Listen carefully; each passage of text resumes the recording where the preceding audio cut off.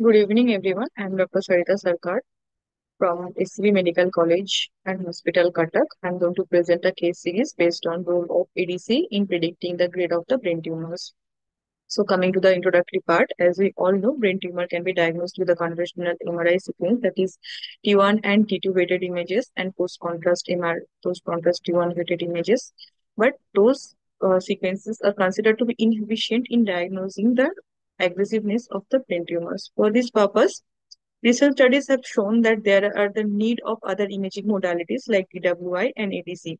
DWI or diffusion weighted imaging based on the uh, measuring the random Brownian motion of water molecules in the biological tissue and is particularly useful in the tumor characterization. The extent of the tissue cellularity and presence of intact cell membrane helps to determine the impedance of water molecule diffusion. Higher the cell, higher, uh, higher the cell content in the tumor uh, or the high grade tumor show high diffusion restriction and uh, the low ADC value. This is the base of our study. Mhm. So, uh, aim of aim and objective of our study was to apply the ADC values to quantify the difference between low and high grade tumors and correlate it with histopathology. So, the data were collected from the patients attending uh, to the Department of Radiodiagnosis, uh, being primarily referred from the Department of Neurosurgery. The study period was 11 months and done on 60 patients. The study, design is retrospective study. All patients of brain tumor uh, were performed uh, MR scan using G Signa HDX machine with 1.5 Tesla field strength. Uh, we performed the standard MR protocol and then calculated the ADC values of uh, ADC values in the areas of greatest restriction diffusion in the solid tumor components. Then the histopathology reports were correlated individually. The inclusion criteria is uh, the patients having DWI and ADC sequence in MR study. Only uh, lesions measuring more than 1 centimeter in diameter were included in the study. The histopathology consistent with high-grade tumors and few benign tumors, and we included all age group. Exclusion criteria, there were no ADC and DWI sequence in MR study. Ambiguous histopathological report, lesions measuring less than 1 centimeter on MR, or artifact in DWI. The study was conducted according with the standard MR protocol using axial coronal and sagittal T1, axial coronal and sagittal T2, axial FLAIR, axial DWI and ADC, axial coronal and sagittal T1 FATSAT plus contrast, the acquisition parameters were long TR and short T with a flip angle of 90 degree and a SOP of 21 centimeter and two b values were taken and ADC maps were autom automatically calculated using the inbuilt software. Uh, the data uh, were analyzed using the SPSS using the SPSS version pattern. Then uh, we can see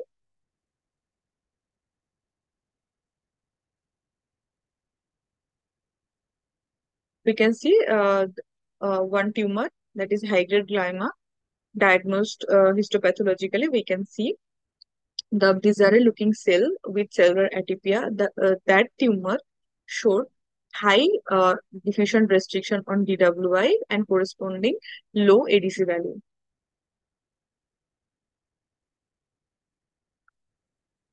Another tumor that is uh, histopathologically proven schwannoma uh, shown no diffusion restriction with high ADC value. So uh, coming to the result, as we can see, uh, there is a slight male pre uh, predilection.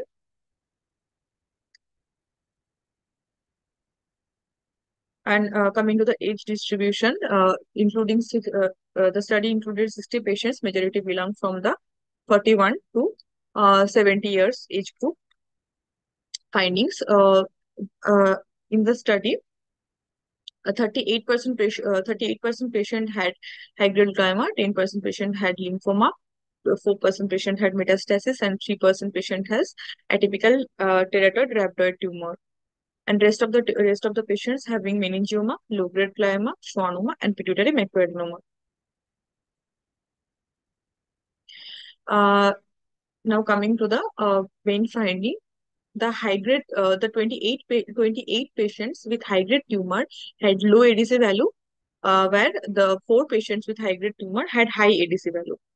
Whereas the patient, uh, five patients with low grade tumor had low ADC value and sorry and uh, 28 uh, and 23 patients with low ADC uh, with low grade tumor had high ADC value. So we can clearly see 87% patients with histologically proven high-grade tumors had low ADC values and 82% patients of low-grade tumor had shown uh, high ADC values on MRI. So now coming to the validity of ADC. High-grade tumor with low ADC uh, shown the sensitivity of 87%, specificity of 82%, positive predictive value of 84%, and accuracy of 85%. Whereas low-grade tumor with high ADC value had shown sensitivity of 82%, specificity of 87.5%, positive predictive value of 85%, and accuracy of 85%. So we can clearly see the sensitivity and specificity in predicting the grade of brain tumors showing significant positive results with good sensitivity and specificity. Uh, so uh, now coming to the discussion part, part.